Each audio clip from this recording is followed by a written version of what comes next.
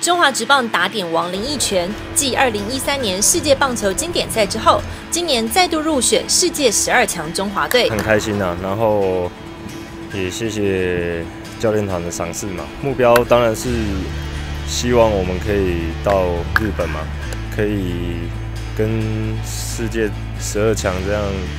又可以打到日本的话，我相信对台湾的棒球整个都是提升的。林奕泉每一年在中华职棒打击排行榜都威风八面，多次拿下跟打击相关的奖项，今年更是蝉联打点王。面对即将到来的十二强赛事，林奕泉不仅充满期待，更想证明实力。今年季初在春训的时候就已经知道说。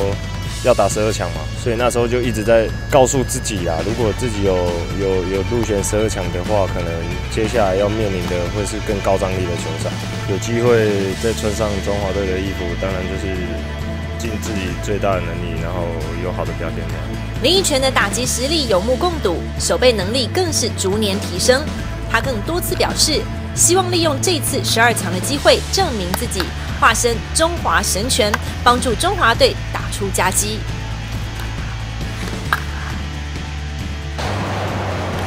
十二强中华队锁定 Marvels。